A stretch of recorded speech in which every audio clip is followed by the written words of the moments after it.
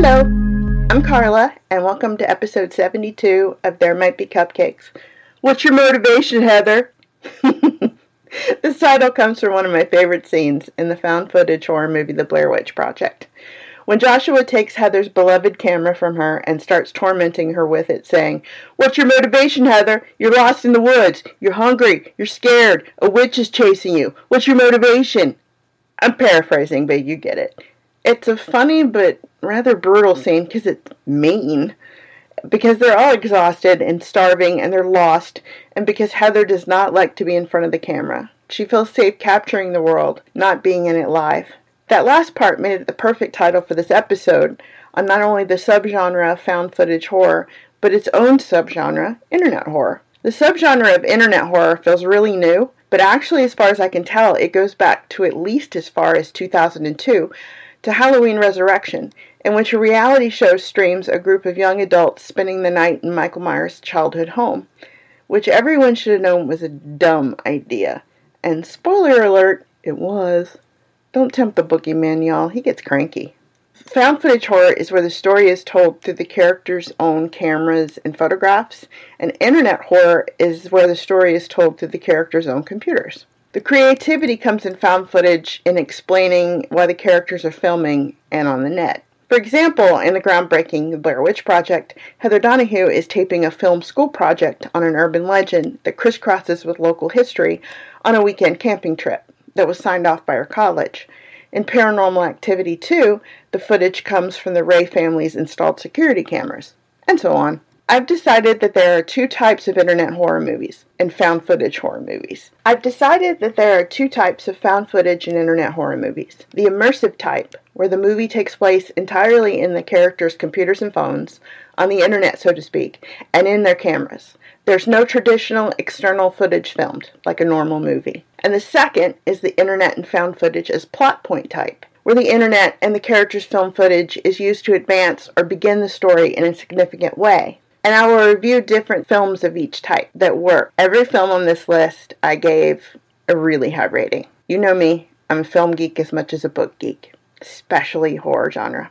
There are significant pros and cons to this subgenre of horror. Pros Our familiarity and comfort with our digital world and our cameras. The expansion of imagination. For example, if hacking is a plot point, the possibilities are almost limitless in a sense. The extra sense of deep immersion for the viewer, if you, especially if you watch the movie on your laptop or on your tablet or phone. The room for writers and directors to add in extra details about the characters, for example, with their Spotify playlist, their laptop background, and other little details about their digital lives in order to progress the scary story. Cons. The loss of those little digital details of watching those movies on your TV. It can be hard to read those screen details and keep up with the action. Little details are lost.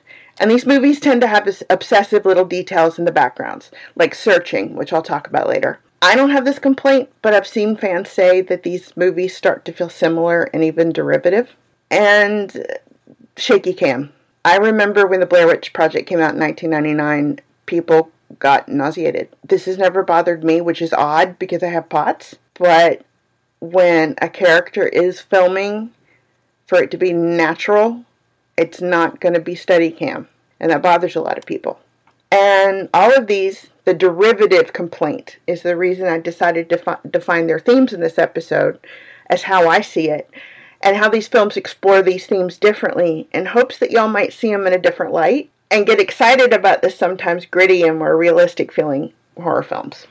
Because of the nature of our current internet culture, the nature of photography, just think about paparazzi for instance, and human nature itself, several themes do repeat throughout this subgenre. And these are the ones that I picked out personally obsession, trespass, privacy and the right to information, identity and the nature of identity, seeing what should not be seen, dangerous friends, the paranormal, religion, and urban legends. Now, under urban legends is also included legend tripping. Legend tripping is a form of exploring where you research an idea, a historical event, which usually turns out to be a creepy or unsolved one, a crime or a haunting, and then you physically go and explore that area where it happened, recording your exploration with photos and videos. Think, again, the Blair Witch Project. Creepypastas have picked up on these real, this real world pastime of legend tripping and created some truly eerie, creative written stories. The most famous and most effective, in my opinion, as the one most similar to a found footage horror movie script, is Ted the Caver. And that's caver like going caving, spelunking. I wanted to read it for you in this episode, but it's been marked as copyrighted. Darn it. I have instead linked to its wiki page and its website in the show notes. I apologize for the clicking noise you hear right now. Uh, Arlo, the staffy pit, has decided to pace. Sometimes when I talk for my podcast, he gets a little anxious. I think he thinks I'm talking to myself. So you will hear this clicking that might sound like somebody's typing in the distance. It's just Arlo pacing to make sure I'm safe. I apologize. Um, everybody say, hey, Arlo. And yes, he's named for Arlo Guthrie, the singer. Um, anyway, Ted the, Get Ted the Caver. Ted the Caver is a well crafted story told in the first person about an amateur caver that discovers an unusual hole where one wasn't before, which you know isn't ever good, and is told in increments with creepy pictures as Ted goes deeper and deeper into this forbidding cave. As you continue to read it, you know Ted should not be doing this, and that and he finds out that other people have done so and might not have returned, and so it builds this lovely feeling of dread. For those of you who do not know, a creepypasta is a fictional scary story shared online, either on Reddit or in the, on the Creepypasta wiki, which is included in the show notes. The best creepypasta related subreddits are No Sleep, Creepy Gaming, and the official Creepypasta subreddit. All are linked in the show notes and will be linked to this episode's website entry. The name Creepypasta is a spoonerism of copy paste, alluding to the viral sharing of these scary stories. They are the 21st century version of urban legends, but they are deliberately created and crafted, just like the infamous Slender Man. Slender Slenderman's creepypasta page is also linked in the show notes and will be included on the website entry. Slenderman, perfectly for this episode, actually started with two created photographs. I won't read one of his creepypasta entries in this episode because, just like Candyman, the ultimate horror movie urban legend, once you know about Slender Man, he knows about you. And you don't want that. As for found footage horror films, this is where my beloved Letterboxd comes in very handy. As you know from this podcast and from its Twitter, I'm an avid user and advocate, and this is why. All I had to do was go to my account, which is linked in the show notes and the feeds on the website. Feel free to follow me, and I'll happily follow you back. My username is Claradox, or you can search for the podcast name on the site and find me, and search for the tag Found Footage, which brought up every movie I've watched so far that I've tagged that way. The same goes for the tag Internet Horror, with qualifications. Some of these things are not like the other, as Sesame Street taught my generation. Some of these things are not like the other. Some of these things don't belong. These links are also in the show notes. These show notes are going to be chock a block. If you open that page on Letterboxd, either one of the tags, look to the upper right, and you can sort the movies that I listed by their my highest rating, the average highest rating, or film popularity, which is the number of people viewing it and adding it to their watch list or having watched it. Isn't that nifty stuff for a movie geek? It's really cool. Oh, and by the way, my um, username Claradox is my best friend's nickname for me because my name Carla anagrams to Clara. Isn't that cool? Uh, I'm so weird, but that makes a good podcaster, right? Hmm? Okay, for this episode, I went through these two tags of mine and I chose 37 films that I had rated the highest. And then out of those, came seven series that were all found footage from my high, and those were all, like I said, from my very highest rated. And by coincidence, all of the found footage movie series that I chose fall under my immersion category. All right, so first, the immersion. First, the immersion category. As I said, for some people, these films might be better experienced on a device such as a laptop or a tablet, especially ones involving the internet. I'll highlight those. I sometimes have blurry vision and sensory processing issues due to Ehlers-Danlos, fibromyalgia, and POTS, and so doing so sometimes helps when important internet or other textual details are involved, but your mileage may vary. Alright, note. I will describe every one of these films so that you understand what's going on. There will be no spoilers, so you can chill out, drink your beverage of choice, and enjoy this episode because I'm so hoping you will enjoy some or all of them this spooky season, and I don't want to ruin them. So, let's have fun. In the immersion category of found footage, I'm starting with the OG, and one of my very favorites, The Blair Witch Project, 1999. I am not doing the math and looking back to how far long ago that was, because that was just a couple of years ago, so leave me alone. A film student.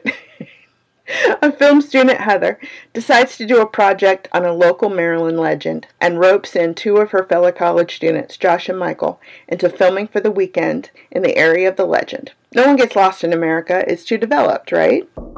This is my home, which I am leaving the comforts of for the weekend to explore the Blair Witch.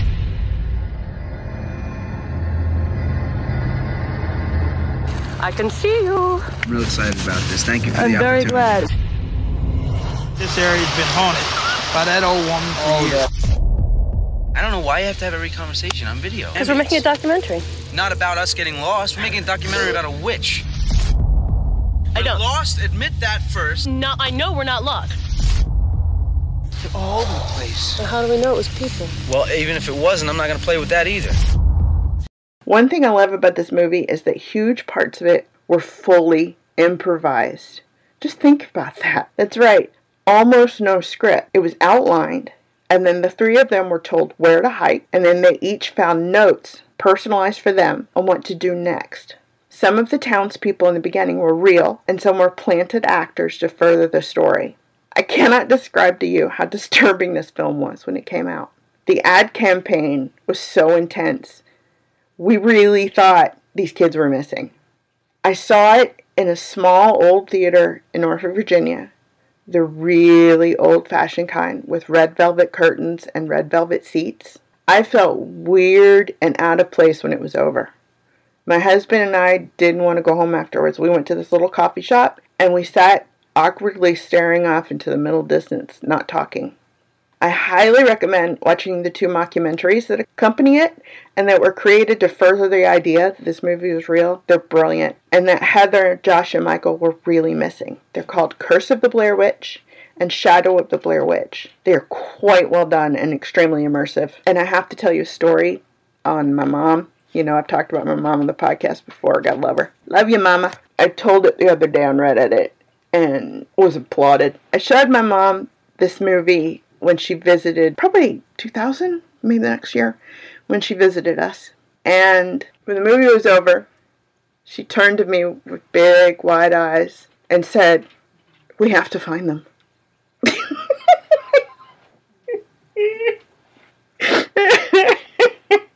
One of my best horror stories ever. Okay, I also recommend the rest of the series, though not everybody's a fan. I absolutely love them. They are Blair Witch 2 Book of Shadows from 2000 and Blair Witch 2016. Last summer, after the crowds left, five strangers returned to the woods to uncover the truth. But one of them has a secret that will unlock the curse. You know, if you don't believe in the Blair Witch, then why the hell did you bother to come? I thought the movie was cool. This fall, just in time for Halloween, the witch is back.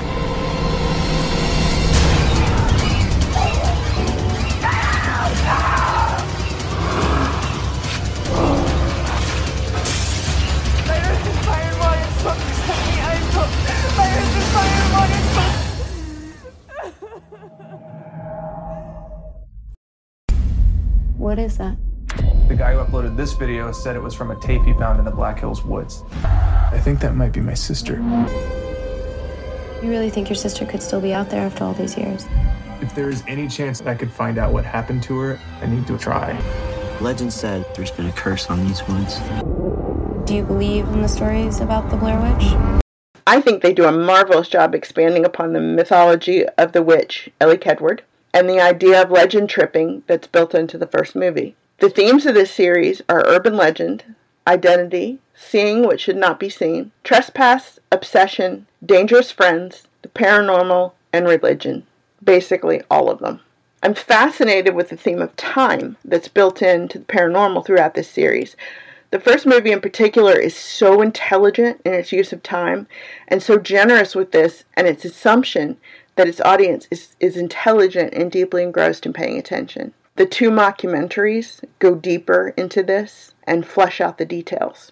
The second series under the immersion category under found footage, which also includes the internet in some of its entries, is the Paranormal Activity series. You know I had to go there.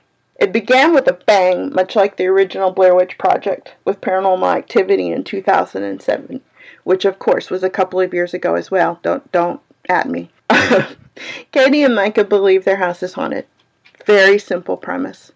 Mike Mika, I always want to say Micah, but it's Mika. Mika, who loves technology, buys a bunch of expensive cameras, both handheld and mounted, and begins to follow Katie around and film both of them while they sleep, all to Katie's chagrin.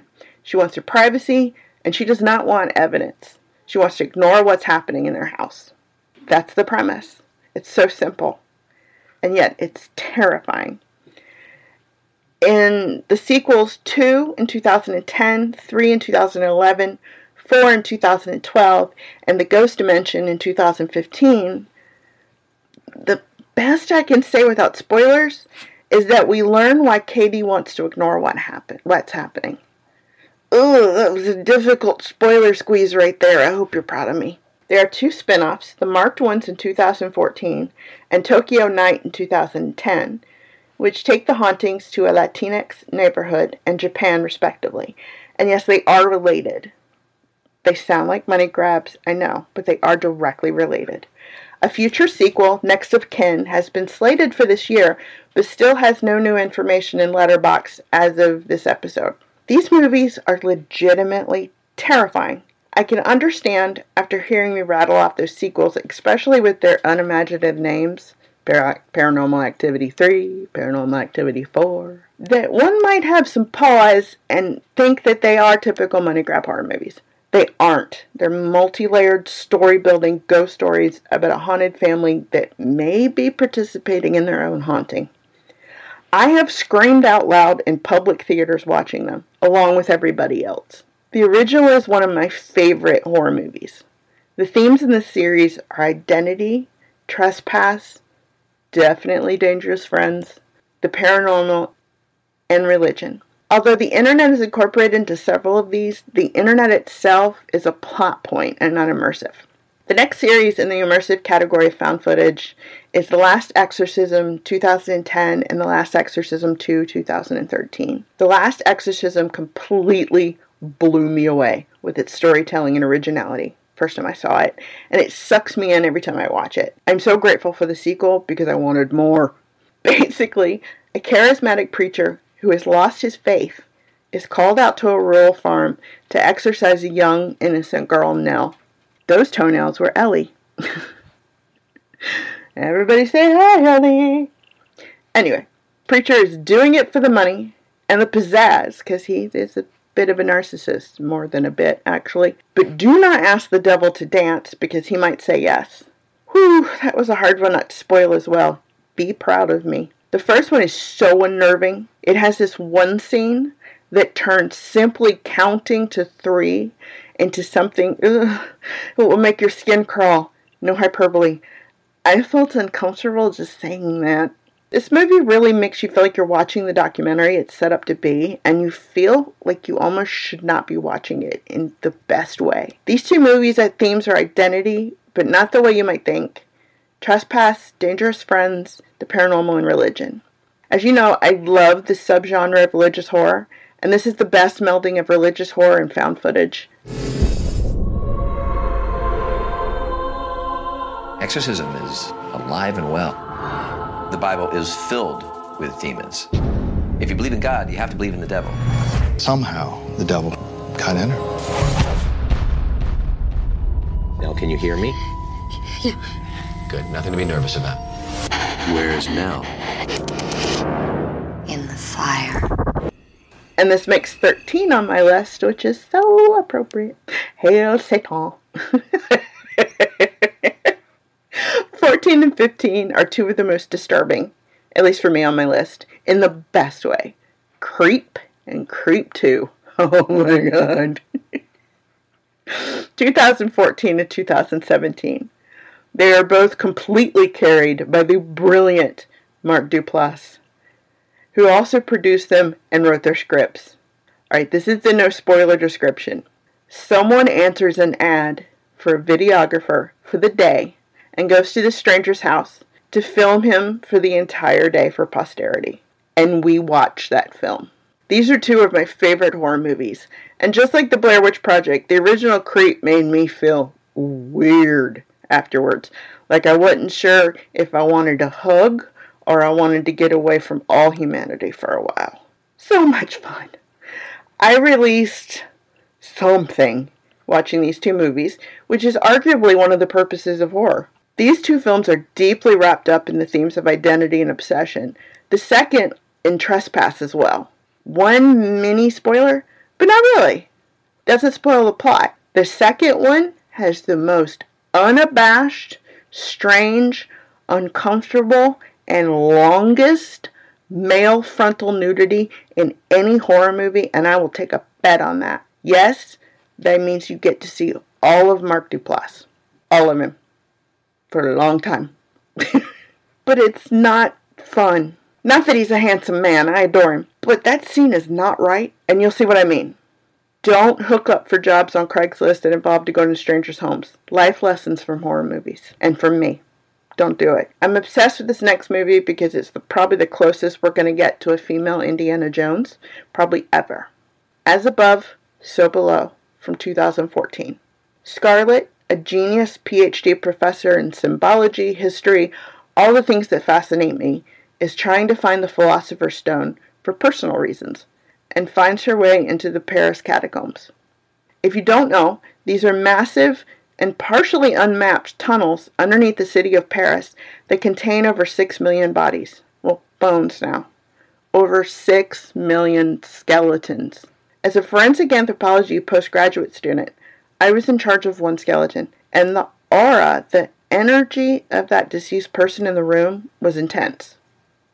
When I held my first skull in that class on the first day, I'm not ashamed to admit that after class I went in the bathroom and cried.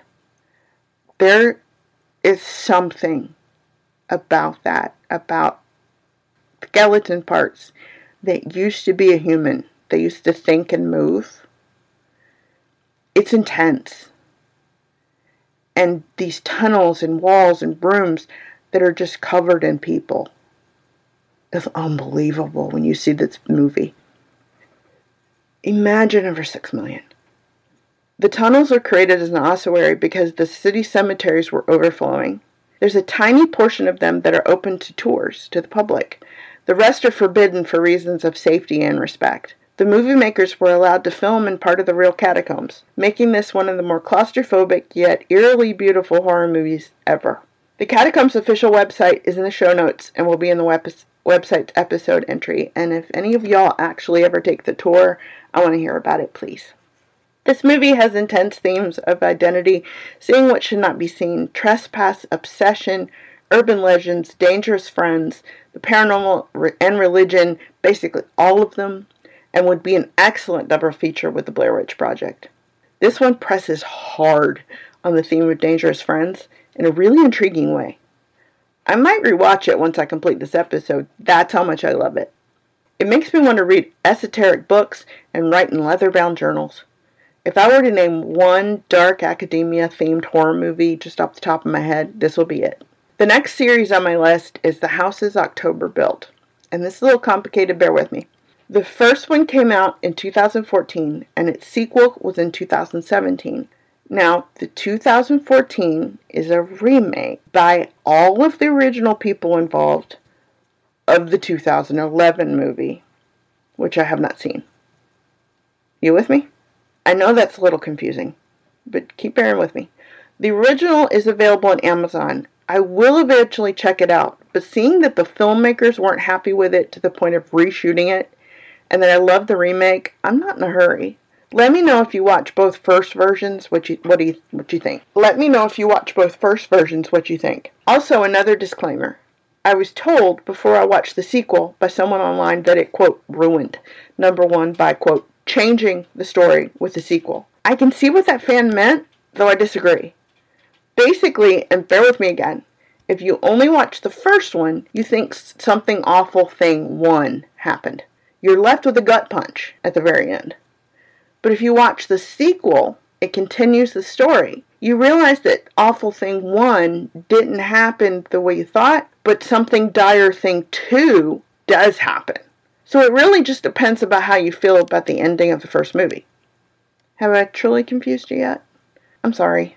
Anyway, non spoiler synopsis. A group of friends who really, really love Halloween go on a haunted house hunt and film the whole thing, picking up stalkers along the way. When I say haunted house, I don't mean the put your hand in a bowl of grapes and pretend it's eyeballs church group type of haunted house. I mean the extreme haunt type, where you sign a waiver and the haunt actors can put their hands on you. The kind I'm never going to do. Ever. These kids are on the hunt for the more extreme the better. Tell me about yourself and what are we doing? You want my name? My name is Zach. You've known me for 20 years, Mikey. I rented an RV. I want to find the most extreme haunted house in the world. What is an extreme haunt? I don't understand how far, like how far they you really can go on without hurting somebody. What's your name, buddy? Hi, Mikey. How you? What's the camera for? Are you doing doing crime stoppers or cops or something? We're doing to catch a predator. To catch a predator? We're gonna go.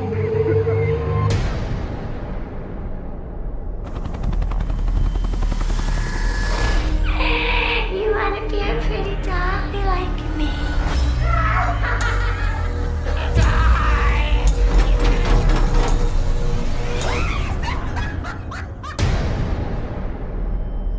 What's going on? Do you care if we ask you some questions? I'm with all this group of people, and we're trying to find something extreme. Hey, we got it. It's in Louisiana this year. We don't have an address, though. this is where they said to go. Is that the girl from the haunt? She didn't really say anything. Something happened to your car?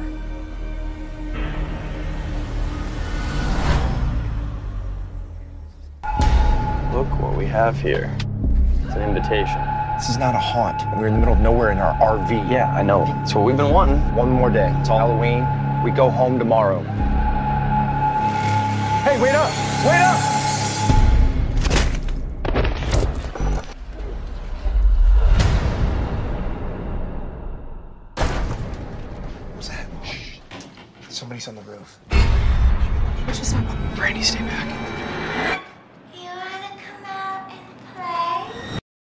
Look into the abyss and it's looking at you, am I right? My great grandpa always told me to be careful what you ask for, and I listened to him. The themes in this two, these two movies are seeing what should not be seen, obsession, dangerous friends, and urban legends. Then I come to the first internet immersion movies, where the entire found footage movies take place in the internet. Number 19, Unfriended 2014, and its sequel, number 20, Unfriended Dark Web 2018. We, these two films are not related. There are no similar characters in either one. We spend the entire films inside a group video chat with friends and with uninvited guests. Think Zoom horror. That's the best I can do without spoiling them. Even though these were both made before the pandemic, they definitely hit differently now, and I kind of suggest watching them now. As I said before, since these are immersive internet horror movies, there's clues in what songs the character controlling the computer is playing, what private messages and emails he and she send.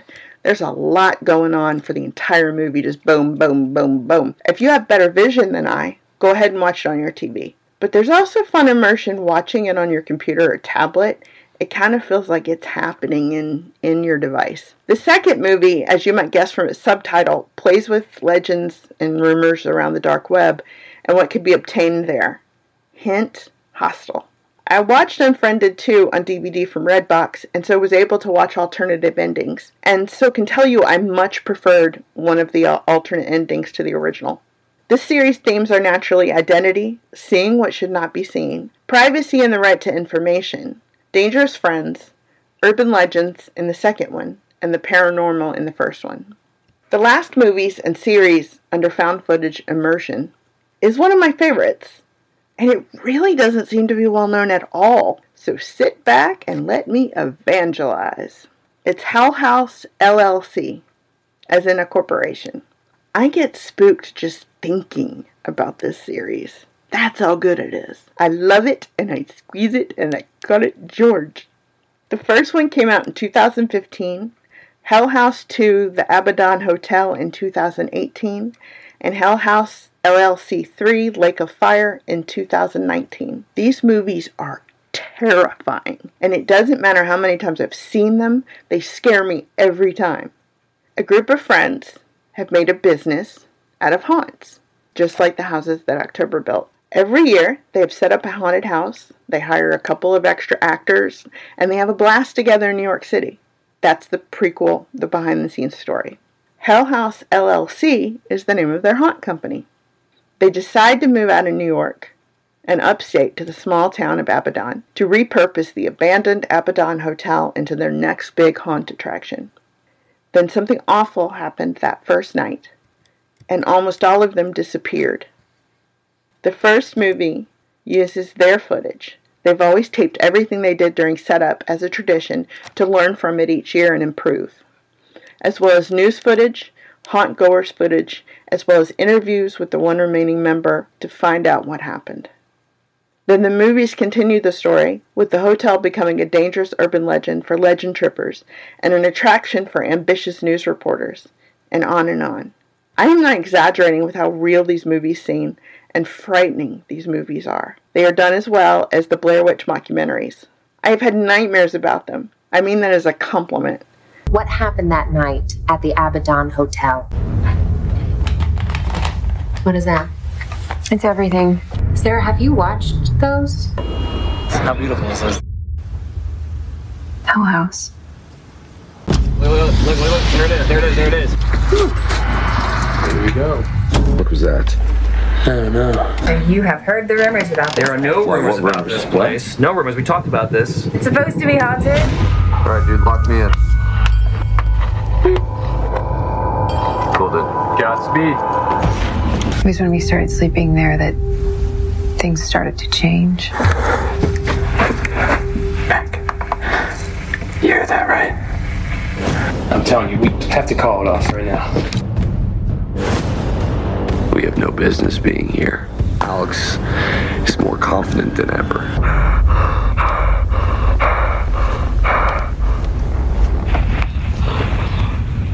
If you're an etymology nerd like me, you might have noticed something about these movies already, hint hint.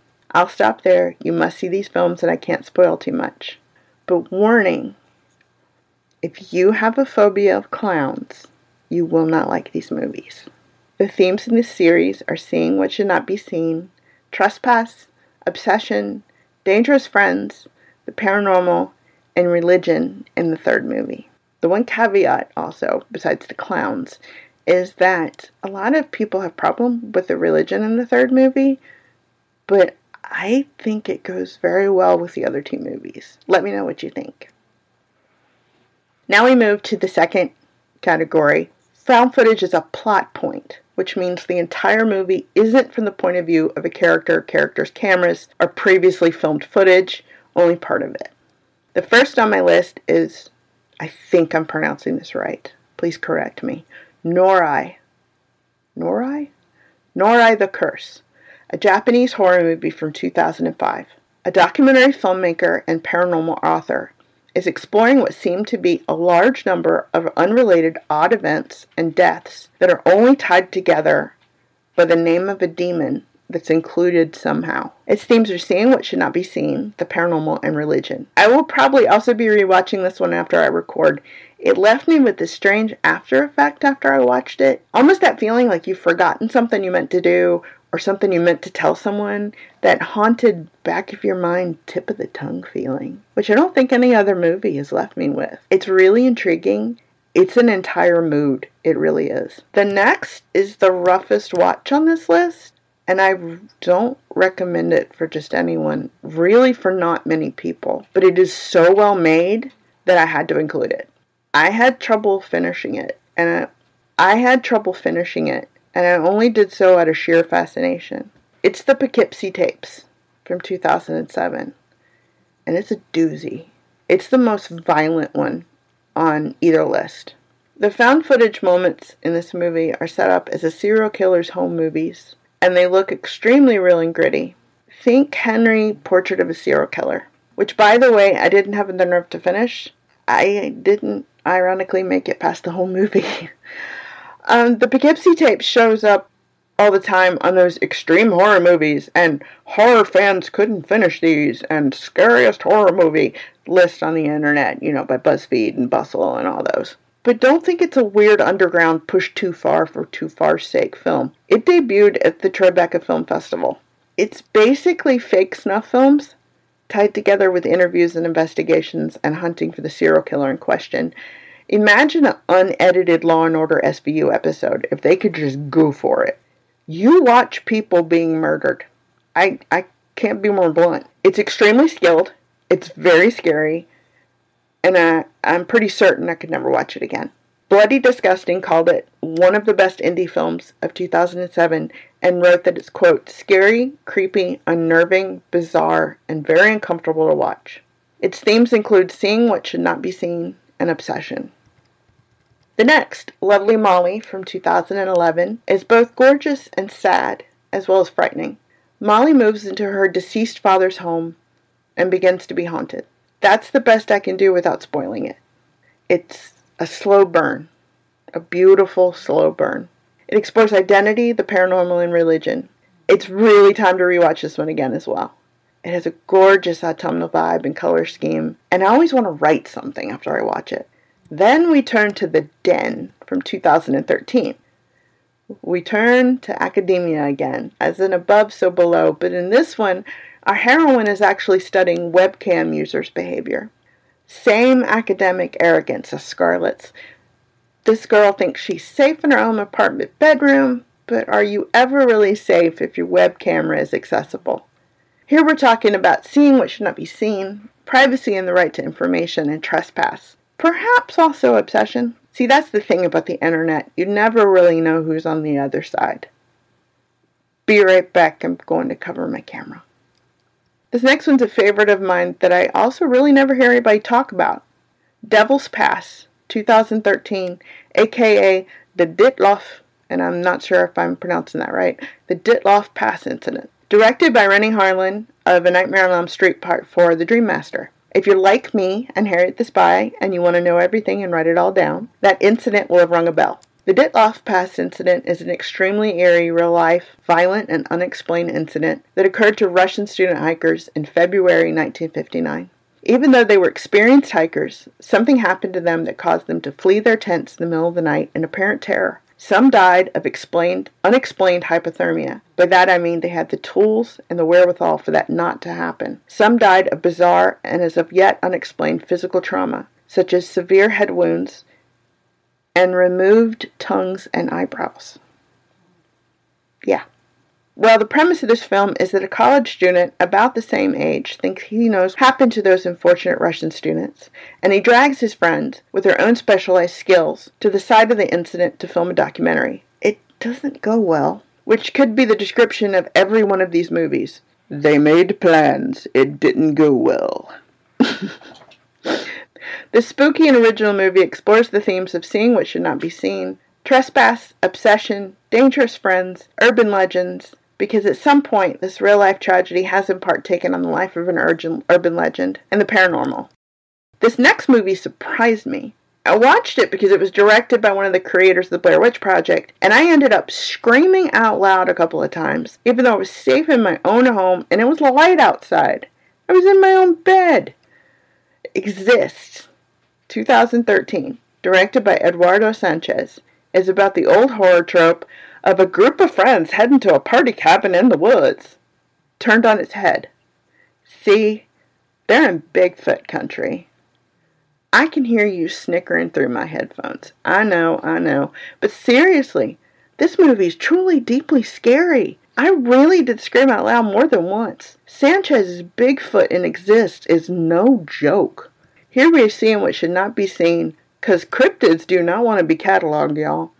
Trespass and urban legends. Don't go to a party cabin in the woods. That's another lesson from horror. I need to do an episode on lesson life lessons from horror. We can just check them off. Just don't. The Canal 2014 is another movie I really don't hear anybody talking about. It's an Irish movie about being haunted by your obsessive thoughts. A man thinks he's being cheated on. and that there might be something evil in his house as well. Irish horror is quiet and dark and slow, a whole mood and color scheme. And this film explores trespass, privacy, and the right to information, obsession, and the paranormal.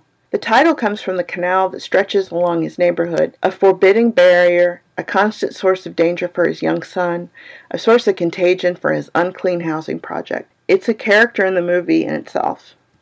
This next film was an entire moment in the online horror community while we were awaiting it, and for very good reason. It lived up to its hype and then some. I also had a nightmare about this one and was happy to have it because it got my creative juices flowing. The Taking of Deborah Logan from 2014 might be the only horror movie, and please correct me if I'm wrong, to be directly about Alzheimer's disease. Basically, a medical student and her crew have been welcomed for exchange of much needed funds into the home of Deborah, who is suffering from Alzheimer's, by her very peculiar daughter, who is her caregiver. But all is not as it seems. This movie takes the delightful horror trope, which is so true, that other people's houses can be creepy, and runs into the end zone with it, and then just keeps running. For those my age and older, the masterful performance of Deborah Logan is given by the same actress, Joe Larson, who played the eccentric Opal, Jenny's mom, on the soap opera All My Children. I'm letting you know so you're not tormented by, who the hell is that? Like I was watching it the first time. I never forget anything. Except when brain fog kicks in and I can't remember what I did yesterday. But I can remember who, who Jenny's mom was. I haven't watched All My Children in 30 years. Such a weirdo. Alright, here we explore the nature of identity, privacy, and the right to information, seeing what should not be seen, dangerous friends, trespass, and the paranormal. And I friggin' love this movie. Ooh, watch it. Please watch it. I'm begging you. Excuse me. Excuse my exuberance. We return indirectly to the horrors of dementia in M. Night Shyamalan's The Visit 2015. I can hear you groaning. Stay with me. But that's not truly what this movie is about. Two young kids, a brother and a sister, Tyler and Rebecca, go to visit their grandparents for the first time. It's the first time because their mother has been estranged from her parents since before Tyler and Rebecca were born. There's a delightful fairy tale vibe to this horror film, Hansel and Gretel, right down to crawling into an oven. There's an odd hipsterness in the horror community with regards to disliking Shyamalan's movies on principle. I don't understand it. This film is horrifying roller coaster ride, and it's really well crafted, with humor coming from Tyler just enough to break the tension. The actress playing Nana, Deanna Dunagan, makes the movie. Her facials stayed with me after the movie ended. I can't be, imagine being alone in a house with her. Someone needs to come check on Nana. Here we have, through the younger brother's ambition to make a documentary, identity, privacy, and the right to information, definitely seeing what should not be seen, and trespass. And perhaps obsession? Yeah, obsession. The next one is Nerve 2016 with Emma Robert. This one is unusual, and some people might call it a thriller rather than a horror movie, but I consider the concept deeply frightening. Perhaps it's my introversion and my mild agoraphobia talking. Exploring Trespass, it's directed by Henry Joost. I think I'm saying his name right. I apologize. Who also directed part 3 and 4 of the Paranormal Activity series, and Ariel Schulman, Catfish Nev's brother, who did alongside him. The basic concept is there's an online game called Nerve, where you take increasingly dangerous dares for money. The deeper you go, the more you might endanger your life, and the more trapped you get. There are serious consequences if you back out, and the whole world is watching and betting. The idea just gives me the Wiggins, to paraphrase Buffy the Vampire Slayer. Like I said, it stars Emma Roberts, who you know from American Horror Story and Scream Queens, and it mainly explores the themes of trespass and obsession. We go from outside the internet driven by it to inside the internet driven by it. You'll see what I mean. 2018 Searching literally had me on the edge of my seat. I don't use that phrase lightly, and I, I'm also careful not to do that because it causes me extra pain, and I was all kinds of cramped up when this movie was over. The premise of this movie is so simple. David Kim's daughter Margot is missing, and he learns through her internet life and her iCloud and her email that she was not who th- she, he thought she was. The entire beginning of the movie is the growth of the family, through their iCloud photos, their email, their text messages to each other. It's just brilliant. You watch this girl grow up, then disappear through the cloud and the internet. The mov- this movie takes place on and offline, so that's why it's in this partial found footage list. It looks at themes of identity, seeing what should not be seen, trespass, privacy and the right to information, and perhaps obsession. And then we go to the last internet movie on this list, Cam, Maine 2018. Cam is a film about an internet sex worker, created by a sex worker, exploring themes of identity, seeing what should not be seen, trespass, privacy and the right to information, and the paranormal. It's based on a simple idea. What if you logged on one day and you were already online? What if you logged on to your Camgirl account and you were already logged in and you were looking at yourself? Ugh. Again, the Wiggins. Same idea as your mirror reflection winking at you, but digital. Ugh. Yuck. Ugh. Wiggins. Phoenix Forgotten is an eerie and sad movie, and again, one I don't hear people talk about very often. And it made me feel strange the same way the Blair Witch Project did the first time.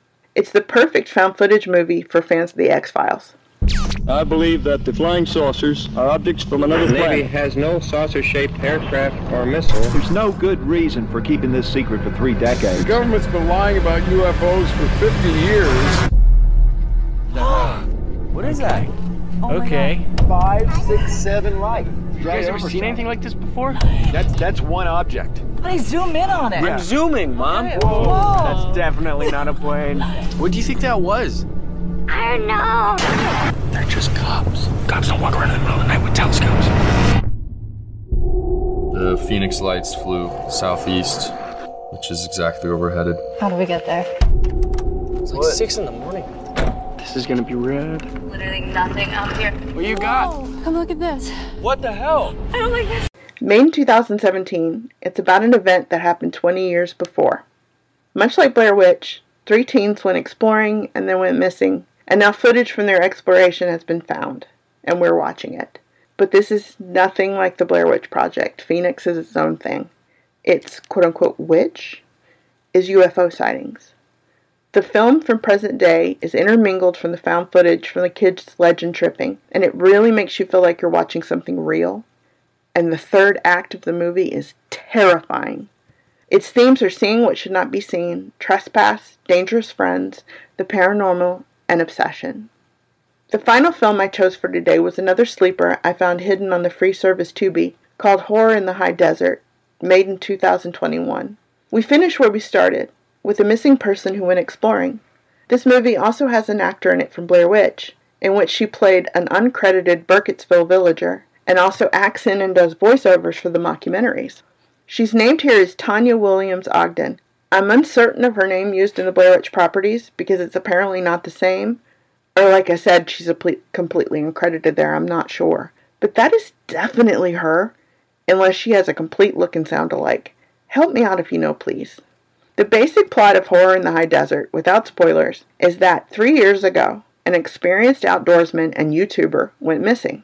Now, a documentary is being made about what happened to him, using some of his footage from YouTube. And the truth about who he really was and what really happened to him is coming out. It explores the themes of identity, seeing what should not be seen, trespass, dangerous friends, and obsession, much like Blair Witch. Again, my agoraphobia is triggered. The idea of walking three days away from other people, that means that you are three days away from help, that you have to walk three days to return. This reminds me of listening to the, aud- the audiobook of Journey to the Center of the Earth by H.G. Wells, narrated by the glorious Tim Curry. I was in my car, safe and sound, on a sunny day. I felt like I couldn't breathe because I was doing the math, thinking, no, don't dig deeper. That's one more day you'll have to dig out. How much food do you have? How much water do you have? Yeah, it's scary. Triggered, y'all. Triggered. I hope you've enjoyed this deep dive into found footage horror and its own subgenre, internet horror. I hope for those of you that usually shy away from found footage for various reasons that you might try a movie on at least the plot point list, a movie that only uses found footage or the internet for part of the film. I carefully chose these movies, a mix of popular and not well known films, for my found footage and internet horror tags. I've rated all of these from 4 to 5 stars in Letterboxd, the highest ratings. I love all of them unabashedly, and I hope you will love some of them too. Remember, the links to these tags are in the show note and will be in the website entry for you to play with. And please feel free to follow me there on Letterboxd, and I will happily follow you back. It's a fun site. Welcome to spooky season and the colder months, my favorite part of the year. But I'm spooky all year round, y'all know that. I hope I've helped you find a few cupcakes in this episode. Want to let me know some good movies that should be on this list that I missed? Hit me up in the Facebook group, the Reddit group, comment on the Facebook page, tweet at me, comment on Instagram, or email me at carla at theremightbecupcakes.com, or of course, message me on Letterboxd. All these links are in the show notes on the website. One emission I know about is the Rec series and its American remake Quarantine. I'm not familiar enough with the series yet to include it, having only seen Rec and Quarantine so far, and having gone no farther yet. Alex and Andrea of the Faculty of Horror have done a masterful episode on this series. I've linked to it in the show notes and will link to it in the website entry for this episode. I bow to their expertise. Another movie I realized as I was recording that I left out was the uh, Asian horror movie Lake Mungo.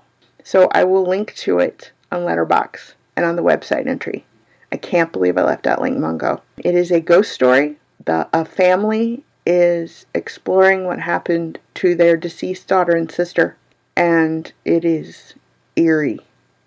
And you see things sometimes on the second watch that you didn't see on the first one. Like I said, I will link to it on Letterboxd and the website entry, and I can't believe I omitted that. I literally thought of it as I was talking. Um, head slap moment. After this episode is published, I will add all of these movies to the There Might Be Cupcakes movie list on Letterboxd, which is linked in the show notes with a link to this episode. This link has every mo- this list has has every movie I've mentioned in an episode, or it will. I'm double checking it right now against each episode script, and I will add Lake Mungo to the list as well. As for book suggestion, you know what books come in? Behind the Horror, true stories that have inspired horror movies. To continue the shivers and the learning by Dr. D- Lee Mellor, narrated by Adam Sims. 9 hours and 34 minutes of more horror facts for your ears. Just click on the link of, for it in the show notes to help out the podcast. If you're new to Audible, please just click on the Audible link in the show notes and choose it as your free book. You get to try Audible for free for a month and keep the book even if you cancel. And don't forget, There Might Be Cupcakes has the honor of being selected to be an Audible podcast. Not every podcast does. I got the vapors when I found out. Thank you so much for trusting me, Audible. As well, since I mentioned Candyman, the ultimate created urban legend, the icon of urban legends, you must read the story from whence he came. It's called The Forbidden by Clive Barker, and it's included in Volume 5 of Barker's collected short stories known as the Books of Blood. They're called the Books of Blood because every time we're opened, we're read. this volume is published in the United States as In the Flesh because I guess we always have to be different.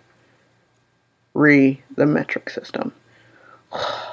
anyway, it is also available from Audible and can be chosen as your free book as well. It's narrated by Jeffrey Kafer, Melissa Exelberth, Scott O'Neill, and Vanessa Hart. If you already have Audible, I've linked it in the show notes as well, and we'll link it in the website entry. The other stories in this collection are The Madonna, Babel's Children, and In the Flesh. Coming back with the third installment in the House of Leaf series. And oh, the verdict on my sinus troubles is that it's neurological in nature. Great. My body only gets weirder, right? So I'm being referred to the University of Virginia neurologist, which is taking a while. So, there's that. My final disability hearing is also in a month, so I'm a bundle of nerves. But that's what horror's for, right? Scream and release. Scream and release. I love you guys. Thanks for helping me find cupcakes. I hope I do the same for you. Oh, and one more thing I, I almost forgot. Candyman. Candyman. Candyman. Candyman.